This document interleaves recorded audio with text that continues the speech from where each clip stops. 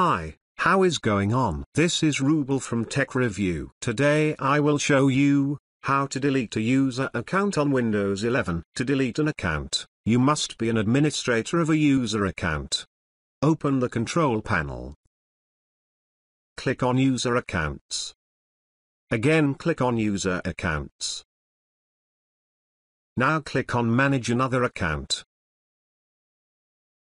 Here you will see all user of this computer. Click a user, which one you want to delete.